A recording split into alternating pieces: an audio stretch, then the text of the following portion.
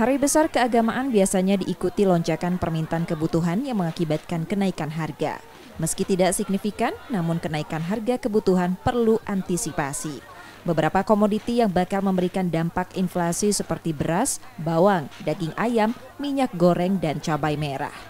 Upaya menekan inflasi, pemerintah Provinsi Sumatera Selatan merencanakan operasi pasar, terutama di kota Palembang dan Lubuk Linggau, termasuk menjaga keseimbangan stok dan permintaan agar tidak terjadi kenaikan harga yang terlalu tinggi.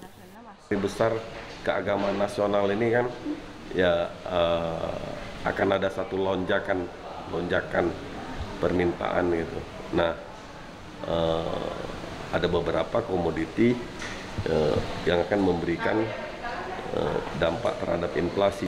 Di mana kira-kira perlu kita lakukan operasi pasar, pasar murah, ya kawan-kawan di Dinas Perdagangan, di Dinas Ketahanan Pangan dan Peternakan, itu akan melakukan operasi pasar.